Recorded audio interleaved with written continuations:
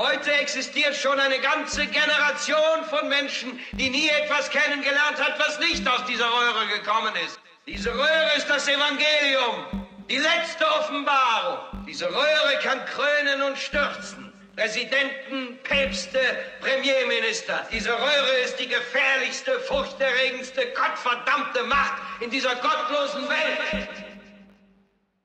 Also hört mir zu. Hört mir zu.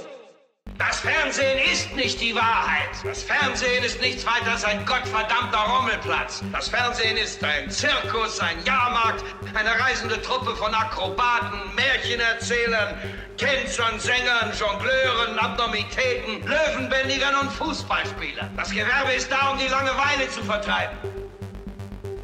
Wenn ihr die Wahrheit wollt, Geht zu euch selbst, die einzige Stelle ist, wo ihr jemals die wirkliche Wahrheit finden könnt.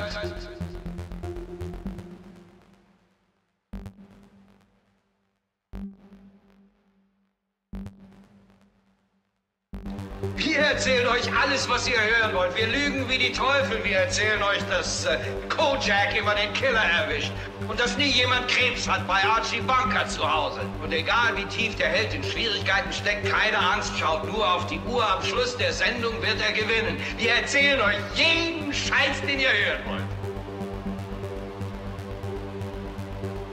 Ihr sitzt da Tag für Tag, Abend für Abend. Alle Altersgruppen, Hautfarben, Glaubensbekenntnisse. Wir sind alles, was ihr kennt. Ihr fangt an, den Blödsinn zu glauben, den wir hier verzapfen. Ihr fangt an zu glauben, dass die Röhre die Wirklichkeit ist und euer eigenes Leben unwirklich ist. Was immer die Röhre euch auch sagt, ihr tut es. Ihr zieht euch so an, ihr esst so, ihr erzieht eure Kinder so. Ja, ihr denkt sogar wie die Röhre.